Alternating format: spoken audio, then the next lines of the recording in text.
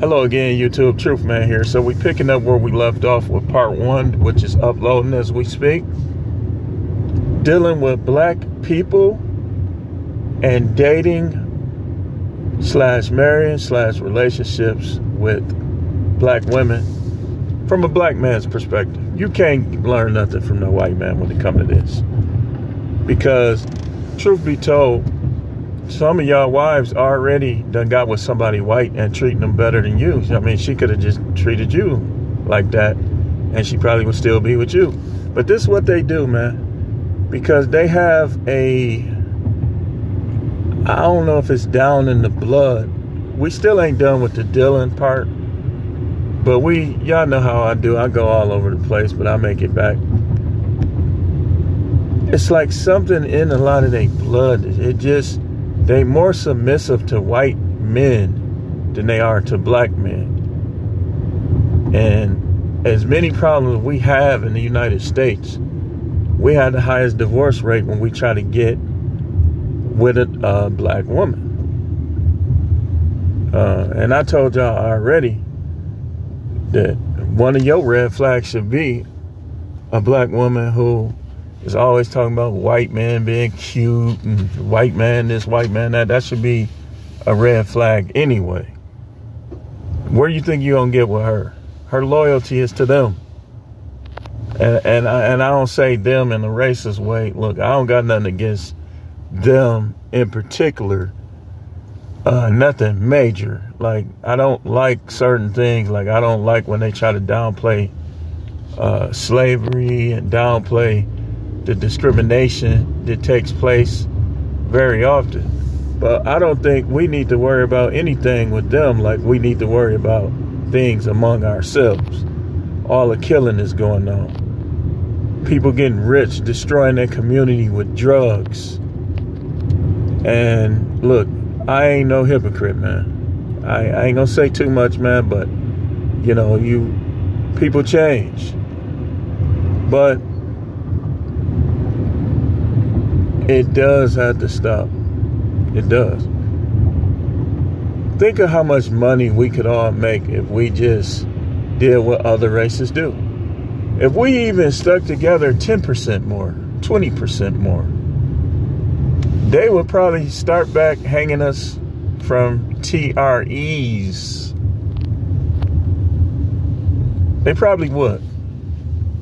But all they gotta do is throw a rapper in our face with fine jewelry and clothes and nice cars.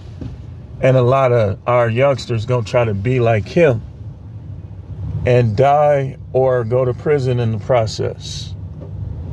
You, when y'all gonna catch on and see that that strategy has worked? It's almost like if you have a football team that they run the same plays but can't nobody stop their plays. Why should they change?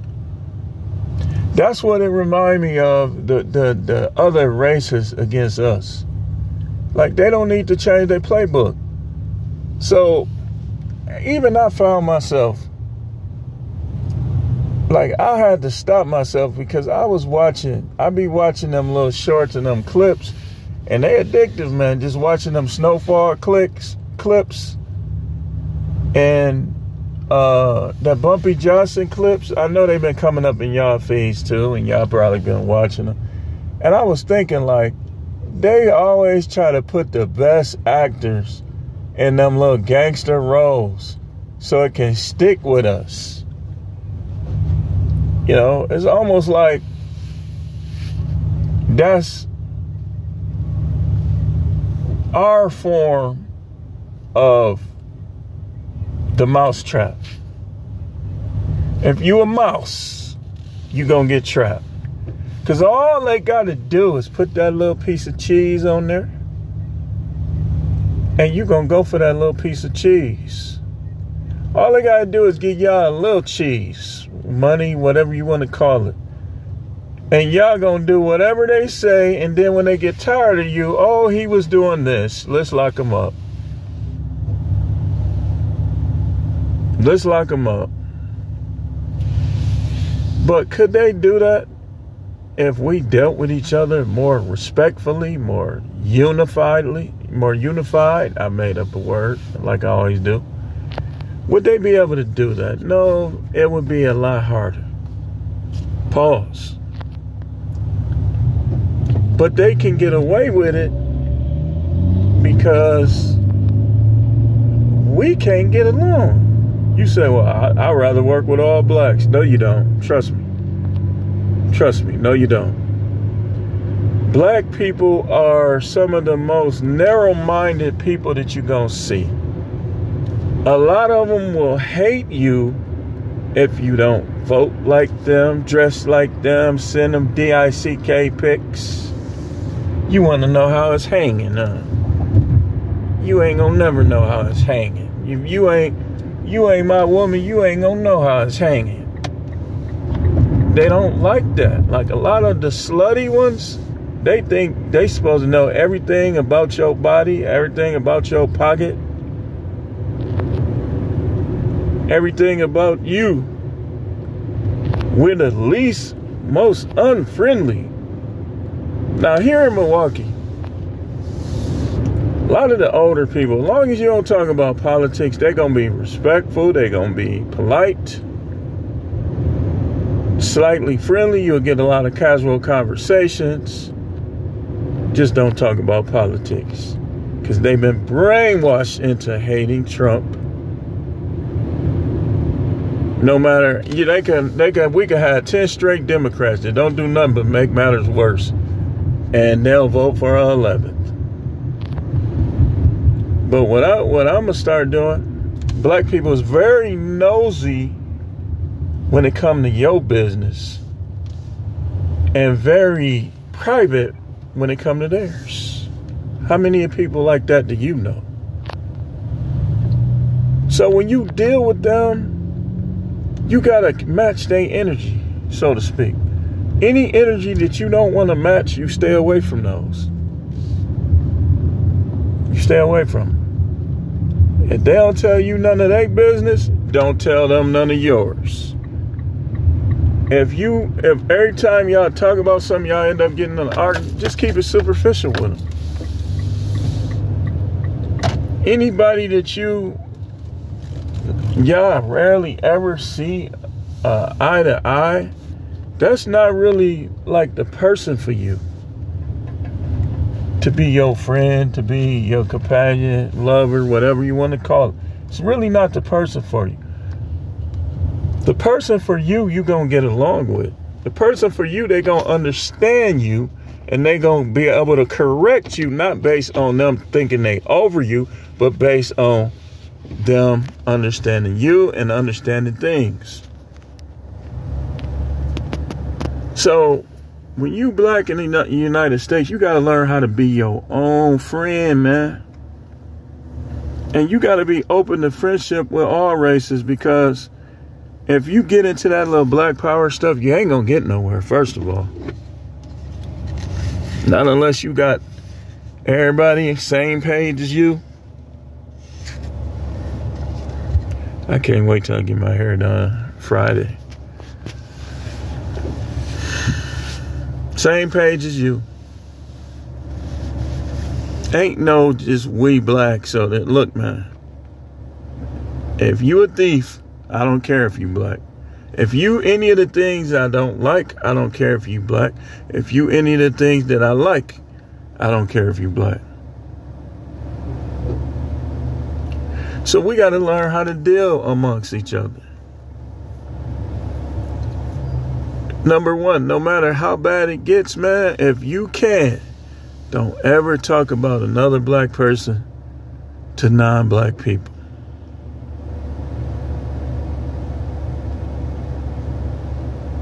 Never. I could see it in a joking way. If you're just joking around, y'all I'll be joking around. I could see that way. But don't ever criticize a black person to a non black person we got it bad enough as it is. We gotta uh, learn how. Now, now on YouTube, you criticize somebody, and everybody says, "So what?" I'm talking about in your private life, in your personal lives. Don't do it. Don't do it. Because sometimes people act like black people is the only ones doing stuff. That ain't what we doing here. And that ain't what we saying here. Because most of the negative behaviors that we see, as well as the positive, are learned. They're learned. Like I remember back in the 18, uh, early 1900s, we had to stick together and it's like our families were more dignified. They, you know, all they had was morals. They barely was eating, but they had morals though. While the other race was watching westerns and, and, and they was robbing caravan, they that was on them back then. I don't know when it happened, maybe in the 70s. But now all of that's on us. And that money is on them. See, we have more rich blacks uh, other than like like the athletes and all these people that entertain these white folk yeah they be getting pretty rich but but we had in earlier times when it was whites only all that man black people was getting rich they was coming up the integration said hold on hold on uh, they got a lot of money over there. Let's see if we can get that money. Oh, listen, uh, yeah, you can sit next to me. That's fine. Ching, ching, ching, ching, ching, ching, ching. They get all that. So basically, your desire to impress and get next to another human being contributed mightily to us being at the bottom. Now all these other people coming over here. Now I was watching a video last night how how y'all be trying to count all these other people at like our skin color as us. But they don't even respect us. In fact, sometimes they even more disrespectful towards us than white people. They try to distance themselves from us. They try to act like they better than us oh, black Americans this, black Americans that. Man, nigga, take your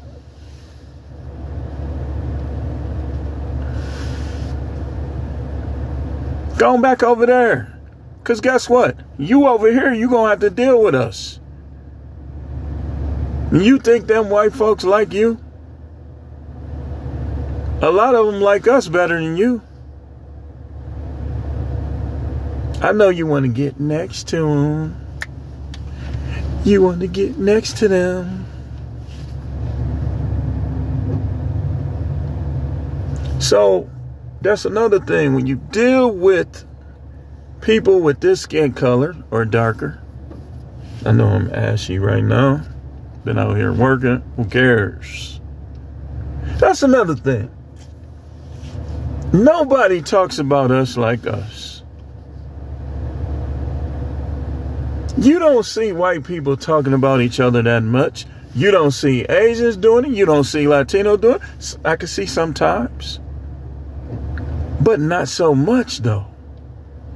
It's like when I go around like a lot of white people, as long as I'm like not stinking, I know all crazy stuff, they don't care how I dress. They don't care about my hair. Just as long as I'm not gonna start nothing with them, but not don't pose no threat. Black people, they looking all upside your head, and I'm talking about Milwaukee. Maybe you, maybe I need to move where you at. Maybe you, maybe where you live is paradise on earth. But I'm talking about here, Milwaukee, the Midwest, because all the Midwest is pretty much the same. Climate, crime, the whole Midwest is pretty much the same. But it's like we always find a way to put each other down. And y'all wonder why our families all messed up. You got people who won't even talk to their own brother. I was talking to my sons earlier, telling them, man, you don't let none of these broads come in between you. And you don't let them move y'all away from each other. Y'all stay in the same city your whole life. Same city. These chicks is not that important. They will turn on you. They'll say they won't, but they will. Almost all of them, especially the black women. Especially. They all do it across the board. You don't got to try to correct me. They do. But we not talking about them on this video. Turn against you. You'll be working all night and she'll be at home flirting around. Probably getting smashed. Probably sending people pictures of her vag open. Holding her vag open with her fingers. While you working.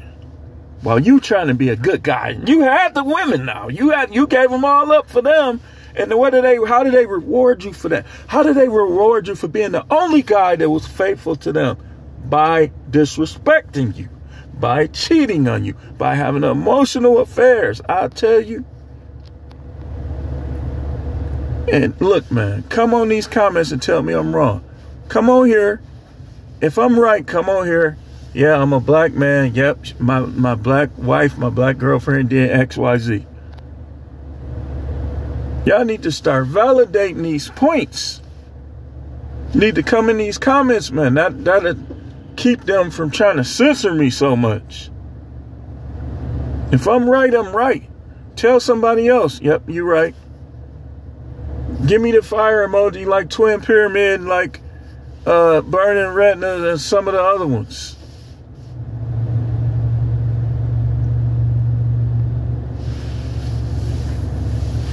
I was, look, man, the only woman that I never, well, I can't say never. We boyfriend and girlfriend, I was cheating. But I can say since I've been married, I never cheated. It didn't even matter. It didn't. Didn't even matter. Because what I learned about a lot of black women is they like Pookie. They like Ray Ray. They like Tyrone. That's why don't you dare be one of them guys that only date black women. I apologize. I repent for telling people that in the past. I do. I do. If she's the best one, then she's the one. But if she's not the best one, don't try to stay with her just because she black.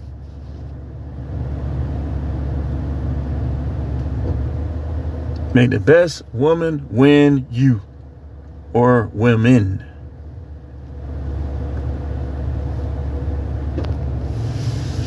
So,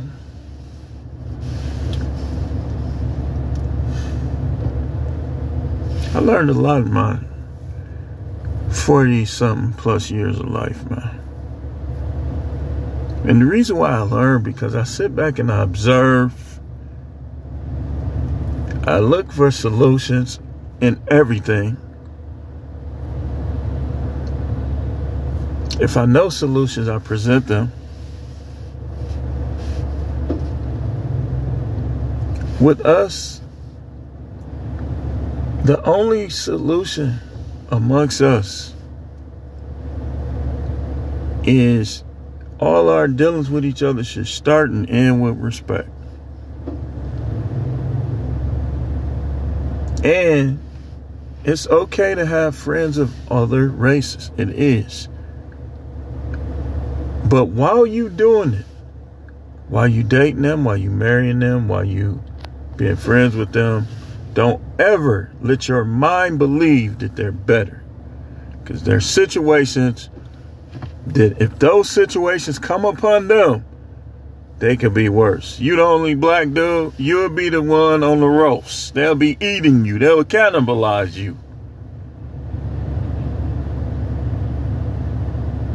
You think they won't?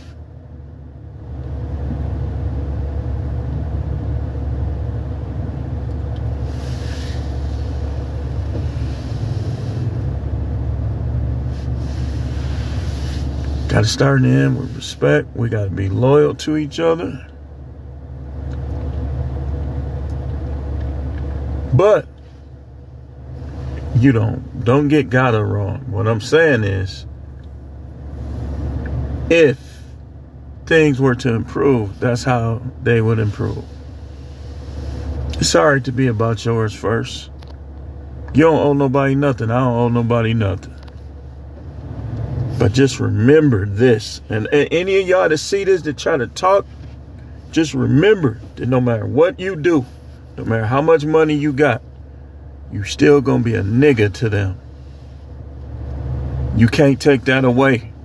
You can live around them. It's safer for now. Let the economy tank, and who knows.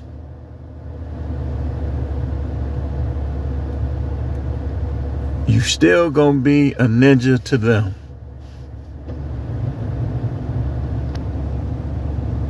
No matter what. You can't take that away. So I'm gonna tell you something. I ain't gonna never just just come out against everybody, only because you never know. The people that might be the safest if some stuff jumped off is the ones that surrounded around other blacks. They just might stick together in some crucial times. But if you live around all white people, get them, get them, y'all get that there.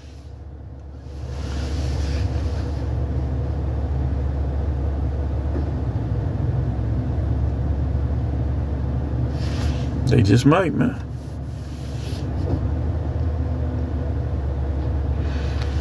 So, in YouTube, this video is for learning purposes.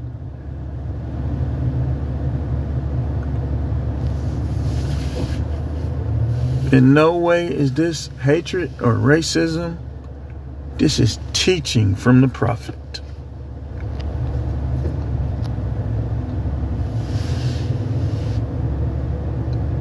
Every time I do DoorDash in black areas, my rating go down. That shouldn't be. We got to stop stuff like that. Stop trying to bring each other down.